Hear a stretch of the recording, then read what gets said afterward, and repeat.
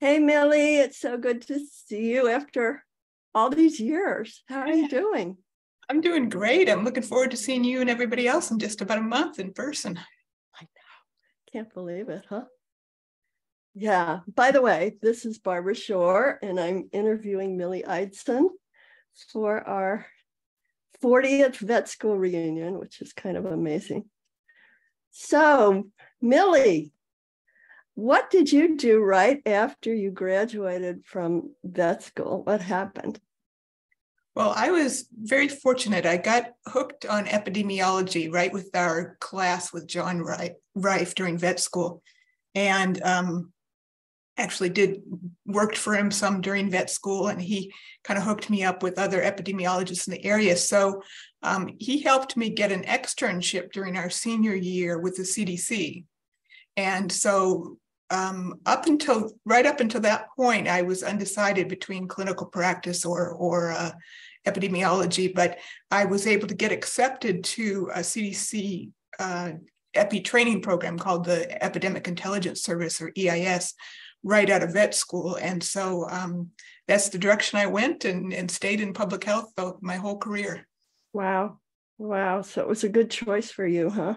Yeah, it really fit fit well for me. I had um, studied research and statistics um, in a social psychology graduate program before vet school, and um, and so that's one reason. Once I got into the epi class, that it really hooked me with its population perspective and and i realized that i wasn't very good at the memorization that's required to be a really good clinician oh, so so i didn't do very well in the in the clinical parts of, of vet school and, and realized I'd, I'd do better as a as a researcher so so uh, i'm going to turn my phone off well so we don't get bothered but well, i'm just really curious what was it about epidemiology that's that's attracted you all these years? Um, well, it's it's you know addressing questions that that never get fully answered about how um, you know one one health type questions of how does the environment and animals and humans all all work together to to uh, either result in disease or health? And um, what can we do for prevention and control? And uh, a lot of it involves communication too, public health communication. And I've always enjoyed writing my entire life. So I, I really enjoyed during the scientific part of my career um, write, writing up all, all my scientific studies because I always felt like if you discovered something but it wasn't shared, you know, it wasn't really doing anybody any good. So um, right. So, so those those aspects, and plus um, being in public health, I was also able to teach a lot. So I would ha- have you know faculty appointments with with neighboring universities and and therefore help teach new new public health uh, students going out into the workforce so so the the variety of, of things that I was able to do um, you know the the issues that I got to work on were were all very appealing to me mm. I could only imagine that during COVID it was epidemiology had a boost you know and and it's uh recognition and importance, right? Right. I mean, p- people finally stopped beforehand when you'd say you were an epidemiologist, they thought you were a skin doctor. Uh, but, uh, but COVID changed that. The, the, the, word epidemiology became more familiar to people. But um, yeah, I retired from full time public health not long before COVID hit. So, um, so I wasn't as swept up into to all that um, to all that uh, drama and demands that uh, all my public health colleagues were. So, yeah, yeah, that was quite something, and probably will continue to be. You know, I don't know that we're done yet. Right. Yeah, yeah. So I understand that aside from your public health work and your teaching, you've also been an author. Right. So what's that about?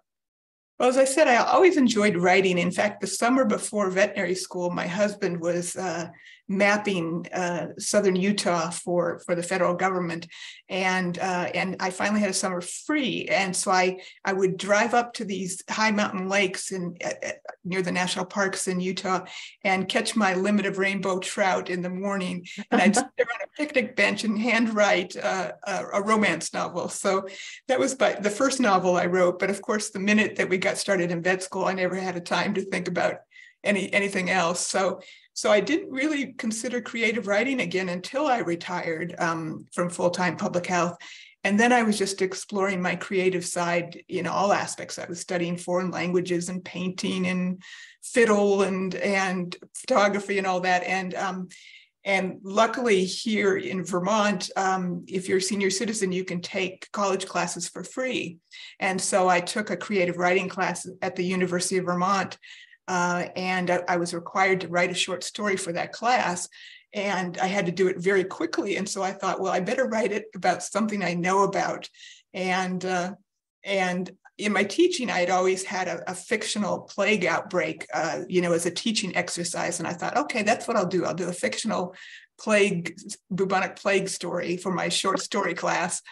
And, and the teacher really liked it. And he said, you know, but this is so complicated. You should really turn it into a novel. And I went, oh okay. So so since that time since that first class about uh, i think maybe about four years ago um, i got the idea to to write novels about the different diseases we can get from animals and to have them in alphabetic series. So needless to say plague was put on the back burner uh, and i started out with anthrax a for anthrax so. Oh my gosh you've got a few books to write huh yeah, yeah, I've got a, a, ways to go. I'm right. I've published uh, Anthracis and Borrelia, and I'm in the final editing stages for Corona, and I'm writing the first draft for Dengue. So, oh my God, you are productive. Yeah, four, four, four underway out of 26. So, oh my gosh, out of 26? Well, trying to get alphabetical. So, Jeez, you know, I have all these books I want to write too because I've published. I'm publishing my second one right now. And I think if I do all these projects, I'm going to have to live a few hundred years to get them all done. well, it definitely takes up your time, particularly during during COVID. You know, instead of freaking out, I just you know doubled down and just wrote like crazy. So, yeah, it was a good time to write, wasn't it? Yes, it was. So, so what about these books? I mean, how can you make an exciting, interesting novel out of a terrible disease. How does that work? It's it's really challenging. Of course, the writing style is very different from the scientific writing that I spent decades doing, and luckily there's uh, there's a really strong writers workshop here in Burlington that since the pandemic has been, you know, on Zoom. And I've joined uh, national groups like one called Sisters in Crime.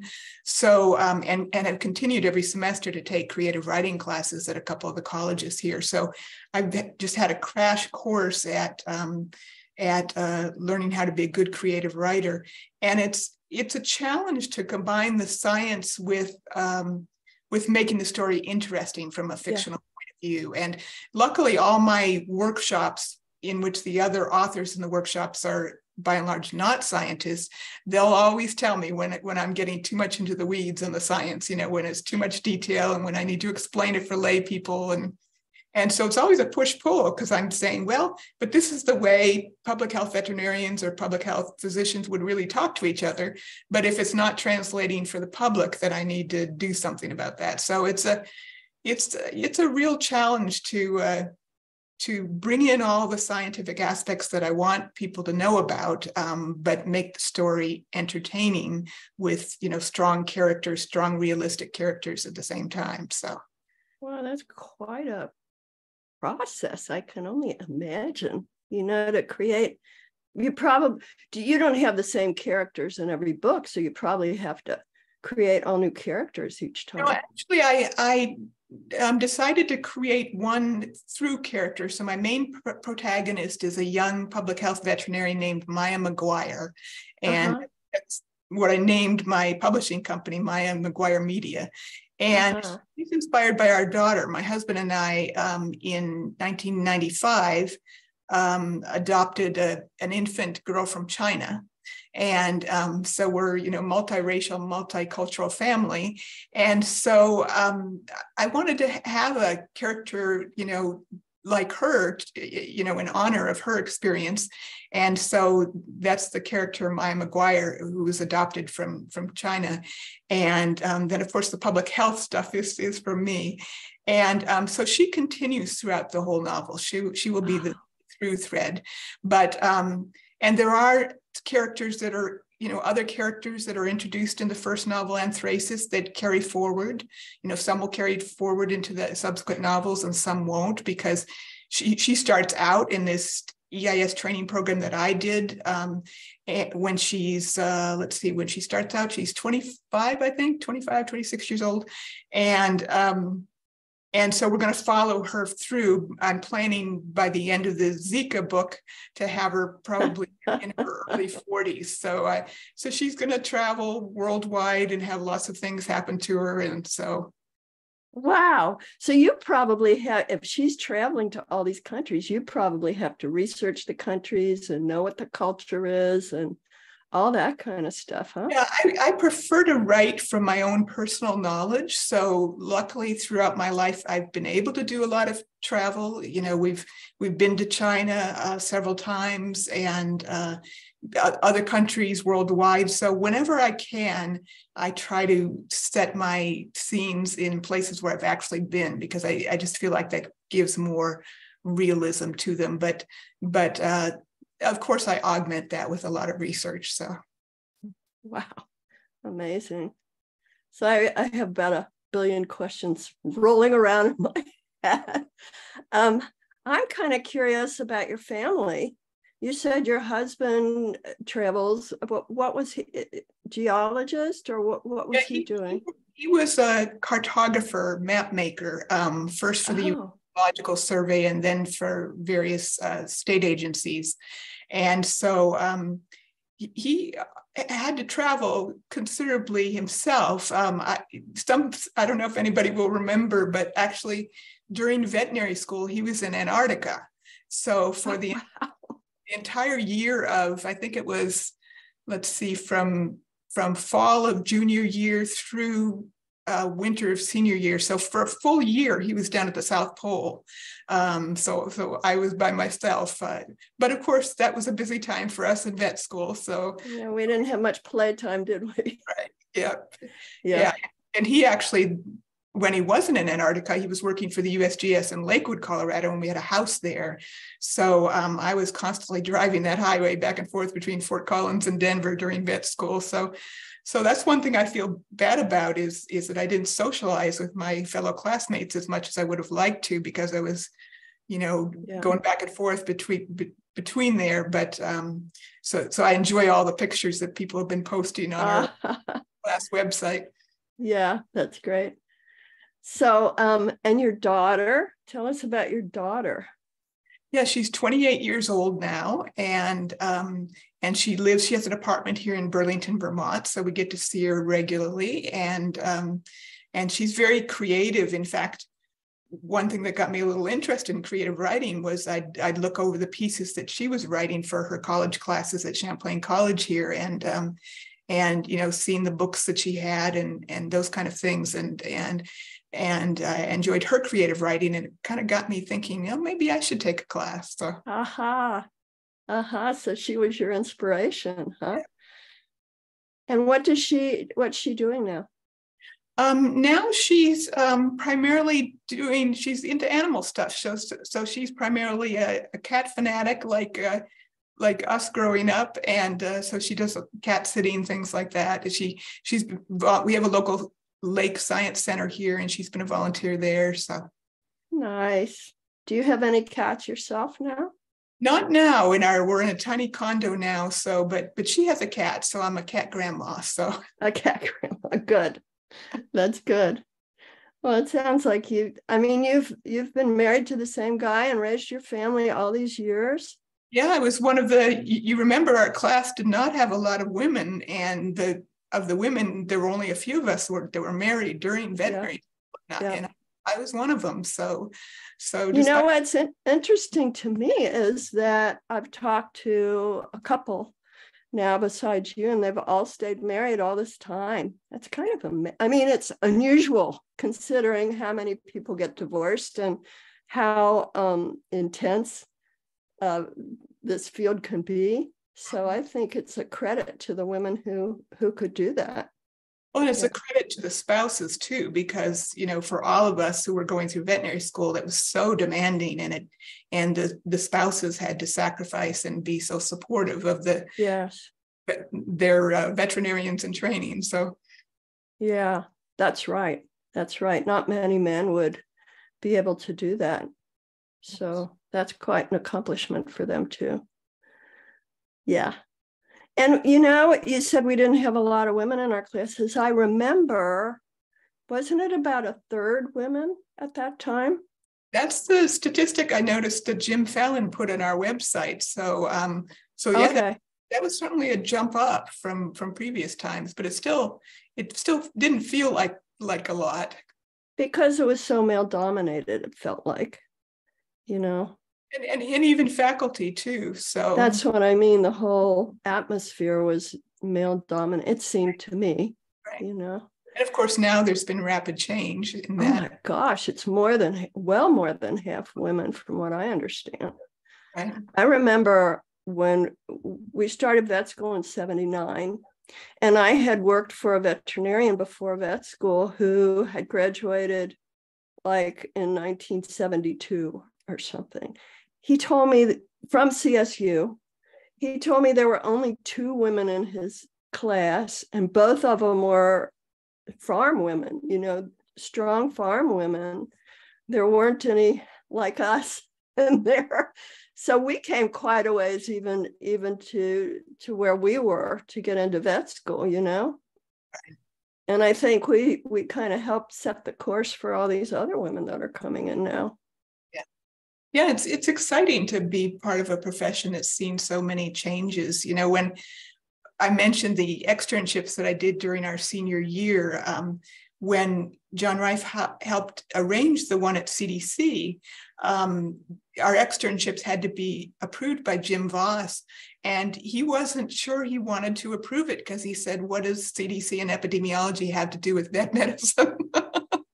Oh but luckily, luckily John Reif lobbied for me and I was able to go, you know, uh, work for CDC during that that semester break that we had. So oh my gosh. Yeah. and of course he was a well respected, you know, incredibly knowledge knowledgeable person that that I honor for everything he contributed to the school. But but that was the thinking back then. It was much narrower, you know, more more practice based, I think. Yeah. Yeah. Whatever happened to John Reif? I I have not been able to catch up with him, so I'm not sure. Mm-hmm. Yeah. Boy, yeah, as women back then, I mean, it's only 40 years ago, that things were so different. Because I went into zoo and wildlife medicine, and there weren't a whole lot of women in that field either, and certainly not working with wildlife. It's so different now, but in those days, you know, we were just an anomaly. We weren't, we certainly weren't the usual, you know.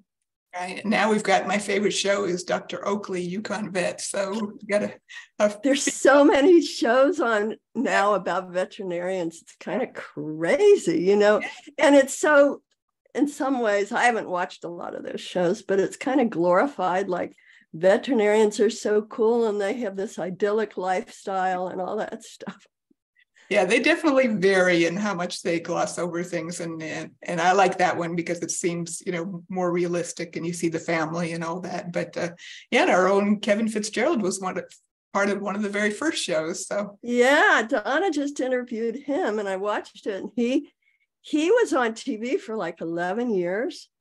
And that's uh, he was i think they were among the first if not the first. So that's pretty pretty good you know yeah, and it's yeah. just again, it's a different way of communication. Um, you know, and the more we can communicate and and show, you know, all the skills that we have, the better. So. Mm-hmm. Mm-hmm.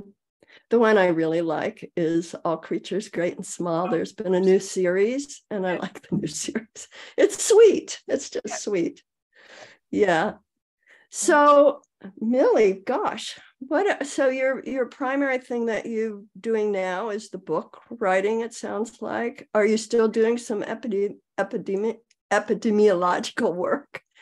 Um, in regards to teaching, so at the University of Vermont, I teach uh, one semester this semester, spring semester right now, um, and their MPH program is fully online. So, um, so it's asynchronous. So I, am meeting the students over over the computer, and I'm teaching about zoonoses and climate change. So, um, oh, great.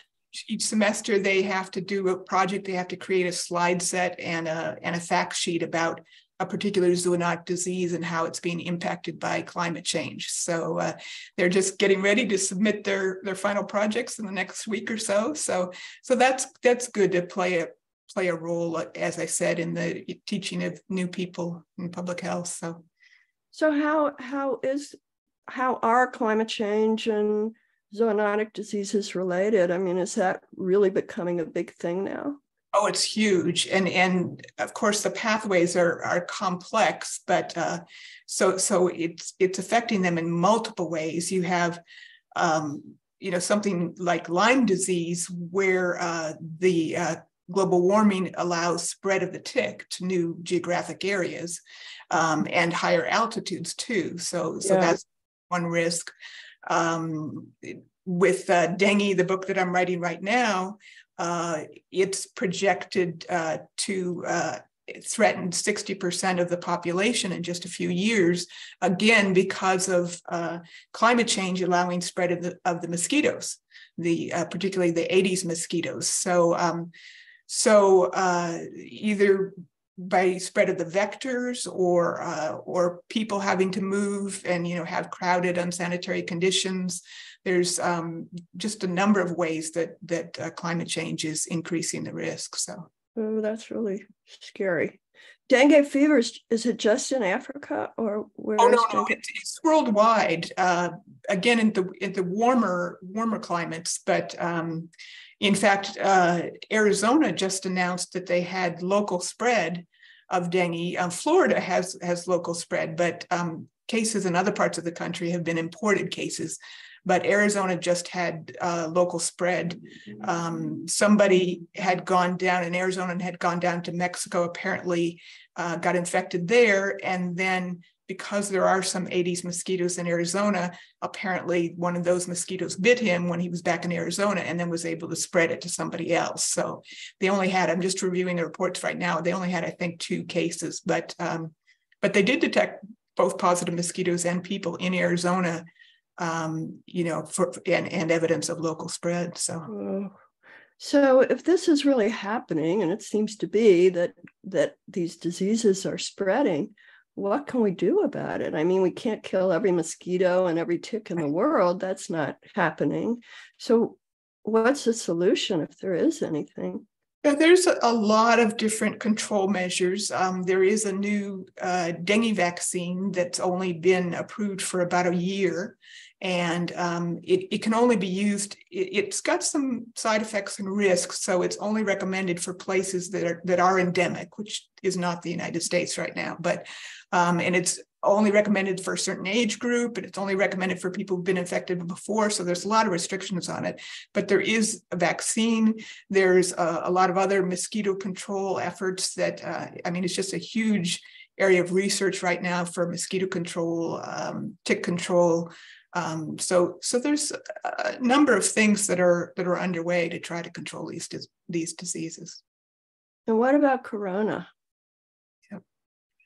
yeah, it's fascinating book. I, am I'll be eager to see what people think about it when I publish it, which should, should be this summer, um, because of course the, everybody's fighting over whether it was a lab leak or whether it was uh, yes. natural spillover from bats.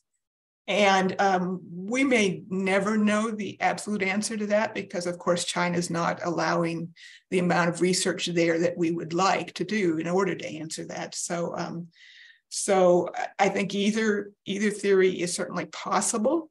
Um, there there are certainly lab errors and lab leaks uh, all the time, um, but but I still think that you know over and over again coronaviruses have been able to leap from bats to other species and then from those species to people. It happened with uh, SARS in 2003. Uh, it happened in MERS in 2013, and and SARS that original SARS virus that, that came um, to only a little bit to the United States, more to Canada, um, that particular variant of coronavirus disappeared. But the MERS virus, which started a decade ago in, in Saudi Arabia from can, from camels, is still around in, in the in the Middle East. So um, so so we're we're seeing all the time, uh, you know, spillover from uh, particularly the viruses to uh, to humans and um, and with coronaviruses as well. So so my bet is that it was the Wuhan uh, wet market that that started it, but you know, as I said, we may never know for sure. Yeah, for a while they were talking about pangolins that mm-hmm. were being sold in the market, but then I've right. heard other species and.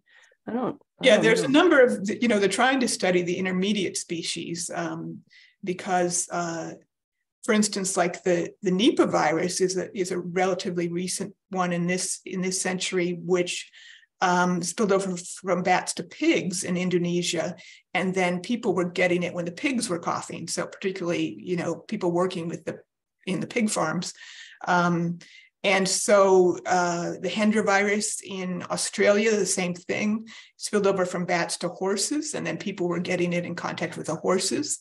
So there can be a number of species that can serve as intermediate hosts, even though they're not the, the reservoir host. So and you and, and what you're saying, it sounds like, is that the bats are the primary reservoir for all of these viruses?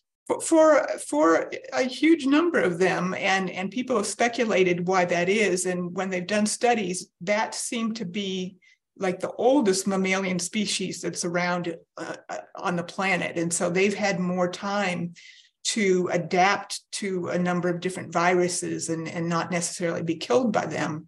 And of course, they're ubiquitous, they're worldwide, um, they're small and they fly. Um, and they can have contact with a lot of other species. So there's a number of reasons why they believe that bats are the reservoir species for, for a big number of viruses. So, have there been any studies done or being done um, about bats and somehow, I don't know, inoculating them or doing something to the bats to prevent them from spreading all these viruses? Is there anything? There's some studies, but um, it, it's a challenge to do to address any of these diseases by addressing the wildlife. Um, th- there have been some successes, like with with uh, rabies uh, in in Mexico, Central and South America. Vampire strain rabies used to be the dominant form, and they developed some really innovative ways. I actually attended a rabies meeting in Mexico where the veterinarian took us out at night and showed us how they would put mist, mist nets up around the fences of the of the cattle. The, the vampires would fly in to feed on the cattle and they'd get captured in these nets. The veterinarians would pry them out and wipe a warfarin paste on their back. Um, and then the, they then they'd let the vampires go. They'd go back to the roosts, and they the bats all you know cuddled together, and and the warfarin paste would get spread around, and it would make them bleed out. So oh God, kind of a, that's awful. Yeah, it's a barbaric way to um, to control it, but incredibly effective. And so, um, so they've really uh, reduced vampire bat rabies um, in in uh, Central and South America, which um, which was an incredible accomplishment because it was so there were so many human cases people living uh, in areas where they didn't have good screens, for instance. And at night, the vampires would come in and feed on the toes of the people. And so you'd have all kinds of people dying, you know, horrific rabies deaths. Um, from from these vampire bat bites, um, and of course you'd try to educate about getting screens and all that kind of stuff, but it it can be really challenging to to prevent it from that way. So um, this intervention with the with the wildlife species did did work for vampire bat rabies. So hmm. seems like a very ugly way to yeah, yeah it's an extreme it's extreme measure and as i said most of the time interventions are not made at the wildlife area because for instance, in plague, when I was with the New Mexico Health Department, we New Mexico is the hotspot for plague in the whole United States, and um, and we would try to control it by dusting the burrows, the rodent burrows, for to kill the fleas. But yeah. we did not do rodent control programs because, yeah. you know, there were just there are too many of them, and it would be unsuccessful, and it would up upset the ecological balance, and um, it just didn't make sense to uh, to try to control plague, even though the rodents were the host animals to control it that way. Instead, you know, just dusting the burrows for fleas was was an effective way to try to reduce it. Was so, it effective? I mean, did it really do its job? Yeah, I, you know, of course, in that local area, and then then again, it would pop up somewhere else. So you know, it was always kind of a whack a mole kind of thing of, of trying to control new new uh, outbreaks of it. But wow, this is a huge, huge topic, isn't it? Mm-hmm. All the, the, yeah, yeah, and I think uh, it can be underplayed the importance of epidemiology. Certainly, when we were in school, and mm-hmm. yeah, it's huge. And, it, and, it's nice as a veterinarian to be able to contribute to it. Um, you know, when we were talking about people having narrow points of view initially and how things are changing you know certainly public health has been more physician dominated and that training program that i got into john reif helped me get into it right out of vet school um, they would only accept a couple of veterinarians into that program it was primarily physicians oh. and and interestingly, for the veterinarians, they required that we have master's degrees before we could get accepted into that program. They did not have that requirement for the physicians. So, so we had to, you know, and they and they still have that difference. Um, so, you know, we had to be extra special, uh, extra knowledgeable to get accepted into that program. So amazing. Just so you had your master's. Right. I had, before vet school, I had been in a, a doctoral social psychology program and kind of burnt out on that, um, you know, the narrow job opportunities and the academic politics and all that. So I, I finished my um, master's degree at CU Boulder. And, and oh, I went to CU Boulder for my undergrad. Yeah. yeah. yeah. So yeah. you got a master's in social work? Social psychology social psych social yeah. psychology is how does that differ from social work um, social psychology is research based so it's, okay. it's studying okay. social problems you know applying statistics to social problems to try to you know figure out the causes so so very similar to epidemiology just a different endpoint instead of social problems yeah. talking about diseases but the same statistical methods and everything so so you've had a really clear course for your life you know a clear path. Yeah i mean it seems like it zigzagged a bit but uh, you know certainly i didn't unlike probably many of our classmates it didn't occur to me to consider veterinary school until you know pretty late in life. Um, but um, but I, i'm glad that i did because it's been very rewarding so. Yeah i was like that too. It took me a long time to decide to go to veterinary school. When i was a little girl and we had miniature schnauzers and a pit bull and everything. And we would take them to this vet. And for at least a mile or two before the vet hospital, they would start shaking and crying. They were so scared. Mm-hmm. And they were pretty rough and gruff with them at the vet hospital, you know? And, and so I never wanted to be a veterinarian until quite a bit later when I realized, oh, it's not always like that. You know? Yeah. It's so, a good good profession for being able to make it make a difference. It opens a lot of doors. Yeah. As you as you found, there there are a number of different ways that we can use our training. So yeah, yeah. I didn't use it directly for the last years, but it certainly has come in handy for sure. Mm-hmm. And the other thing for me personally, with the weird work that I do, is it's given some credibility. Mm-hmm. You know, when you say you're a veterinarian, it's almost always people um, have a little respect for mm-hmm. some reason, you know. Mm-hmm. So that's good too. Yeah. Yeah. Wow. So So, um, is there anything else you want to talk about? You want to talk more about your books, or do you, or is there anything you want to say to people before we close?